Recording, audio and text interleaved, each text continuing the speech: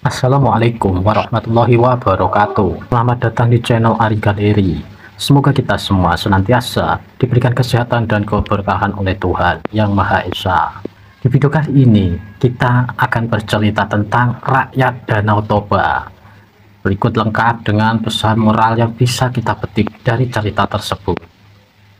Kalian pasti sudah tidak asing dengan Danau Toba Danau Toba merupakan danau teknovulkanik yang berada di Sumatera Utara. Dilansir situs resmi Pemkab Sumatera Utara, danau yang membentang sepanjang 100 km dan lebar 30 km ini terbentuk akibat letusan super dahsyat dari gunung api Purba Toba. Dijelaskan situs Kemenparekraf, namun masyarakat setempat punya kisah tersendiri perihal asal-usul terbentuknya Danau Toba. Singkat cerita, rakyat Danau Toba menceritakan tentang kisah seseorang pemuda bernama Toba dan seekor ikan mas. Toba mengikat janji dengan ikan tersebut, tetapi pada akhirnya gagal untuk menepatinya. Pada zaman dahulu, di sebuah desa di Sumatera Utara, hiduplah seorang petani bernama Toba. Ia hidup sendiri sebatang kara. Setiap hari, dia bekerja menggarap ladang dan mencari ikan. Hal ini dilakukannya untuk memenuhi kebutuhannya sehari-hari. Pada suatu hari, Torba pergi ke sungai di dekat rumahnya. Ia bermaksud mencari ikan untuk lauknya hari ini. Dengan hanya berbekal sebuah kail, umpan, dan tempat ikan, ia pun langsung menuju ke sungai. Setelah sesampainya di sungai, petani tersebut langsung melemparkan kailnya. Sambil menunggu kailnya dimakan ikan, Toba pun berdoa, Ya Allah, semoga aku dapat ikan banyak hari ini. Beberapa saat kemudian, kail yang telah dilemparkannya terlihat bergoyang-goyang. Ia segera menarik kailnya. Petani tersebut sangat senang karena ternyata ikan yang didapatkannya kali ini sangatlah besar. Setelah beberapa saat memandang ikan hasil tangkapannya, Toba sangatlah terkejut. Ternyata ikan yang ditangkapnya itu bisa berbicara. Ikan itu berkata, tolong aku jangan dimakan pak, biarkan aku hidup. Ucap si ikan tersebut. Tanpa banyak tanya, ikan tangkapannya itu langsung dikembalikan ke dalam sungai kembali. Setelah beberapa menit, Toba pun terkejut kembali karena tiba-tiba ikan tersebut berubah menjadi seorang wanita yang sangat cantik. Dia pun berkata, jangan takut pak, aku tidak akan menyakiti kamu, kata si ikan tersebut. Siapakah kamu ini? Bukankah kamu seekor ikan? Tanya Toba. Aku adalah seorang putri yang dikutuk karena melanggar aturan kerajaan, jawab wanita tersebut. Terima kasih engkau sudah membebaskan aku dari kutukan itu. Sebagai imbalannya, aku bersedia kau jadikan istri kata wanita tersebut yang dikutuk menjadi ikan. Tanpa berpikir lama, petani itu pun mengangguk. Baiklah, saya setuju, ucapnya. Namun wanita ini mengisyaratkan satu permintaan terakhir. Kamu berjanji tidak boleh menceritakan asal-usul saya yang berasal dari seekor ikan. Kata wanita tersebut. Jika janji itu dilanggar, niscaya akan terjadi petaka yang sangat dahsyat. Ucapnya dengan tatapan yang serius. Setelah beberapa bulan menikah, kebahagiaan Toba bertambah karena sang istri telah melahirkan seorang bayi laki-laki yang diberi nama Samosir.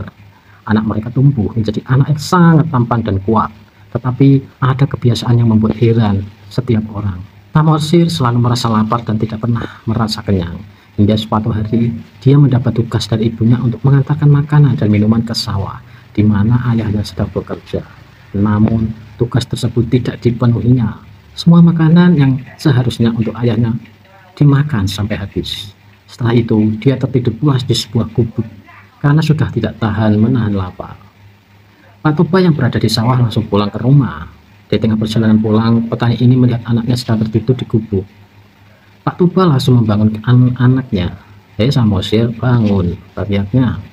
Setelah anaknya terbangun, petani itu langsung menanyakan makanannya. Mana makanan buat ayah? Tanya Pak Toba. Sudah habis kumakan, jawab Samosir. Mendengar hal tersebut, Pak Toba langsung memarahi anaknya. Anak tidak tahu diuntung, tidak tahu diri dasar anak ikan. Umpat Pak Toba tanpa saja telah melanggar janji dari istrinya. Setelah petani mengucapkan kata tersebut, seketika itu juga anak dan istrinya hilang. Dari bekas injakan kakinya, tiba-tiba menimbulkan air yang sangat disertai dengan turunnya hujan dan petir air meluap sangat tinggi dan luas hingga membentuk sebuah danau. Danau itu akhirnya dikenal dengan nama Danau Toba sampai saat ini. Pesan moral yang bisa kita ambil dari cerita rakyat Danau Toba adalah yang pertama, tepatilah janji yang telah dibuat. Amanah pertama adalah apabila seseorang berjanji, maka ia wajib menepatinya supaya tidak ada orang yang tersakiti. Hal ini dapat dilihat dari tokoh Toba. Jauh sebelum kelahiran Samosir, Toba telah membuat janji dengan istrinya yang merupakan jelmaan dari ikan bahwa ia tidak akan pernah mengungkap identitas asli istrinya itu kepada putranya. Akan tetapi, Toba mengingkarinya yang lantas membuat ibu Samosir kecewa. Akibatnya, putra dan istrinya menghilang dan kemudian muncul mata air yang selanjutnya membentuk sebuah danau Toba. Yang kedua, mematuhi perintah orang tua. Satu hal yang bisa dipelajari dari tokoh Samosir adalah bahwa seorang anak sepatutnya mematuhi perintah orang tua yaitu ibunya telah memerintahkan Samosir untuk mengantarkan makanan ke ayahnya. Namun, anak laki-laki tersebut malah memakannya di tengah jalan. Tak heran jika Toba tersulut emosinya akibat perbuatan putranya itu. Yang ketiga, jangan mengambil hak orang lain. Masih berkaitan dengan poin sebelumnya, pesan moral lain dari cerita Danau Toba adalah untuk tidak mengambil hak orang lain. Samosir yang memakan bekal ayahnya termasuk ke dalam perbuatan mengambil hak orang lain.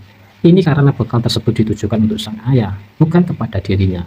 Tentu itu merupakan perbuatan yang kurang baik dan tidak patut untuk ditiru. Yang keempat, menahan amarah. Dari kisah Toba, kita dapat pula belajar akan pentingnya bersabar dan menahan amarah. Pasalnya, ketika seseorang marah, dirinya bisa saja tidak sadar mengucapkan sesuatu yang bisa menyakiti perasaan orang lain. Sama halnya dengan Toba, sewaktu kesal akan perbuatan putranya, Toba secara tidak sadar mengucapkan anak ikan kepada Samosir yang berarti ia telah mengingkari janjinya kepada istrinya. Nah itulah sedikit cerita kisah tentang cerita rakyat Danau Toba. Semoga informasi ini dapat menambah wawasan dan pengetahuan kita. Semoga bermanfaat dan terima kasih